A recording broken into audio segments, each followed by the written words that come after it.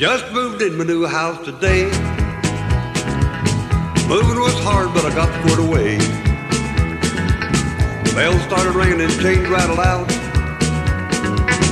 Knew I'd moved in a haunted house. Well, I made up my mind to stay. Nothing was gonna drive me away.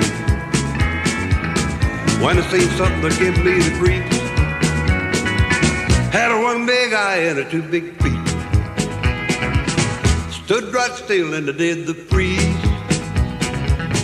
He just drove right up to me. Made a noise with his feet to sound like a drum. Said, you be here when the morning comes. Yes, I'll be here when the morning comes. Gonna be right here and I ain't gonna run. Bought this house, now you know I'm boss. Ain't no hate gonna run me off. In the kitchen, my stove was blazing hot. Coffee was a boiling in the pot.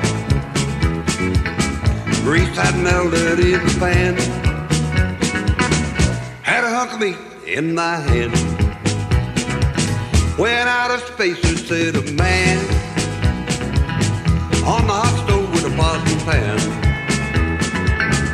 Hey, that's hot, I begin to shout.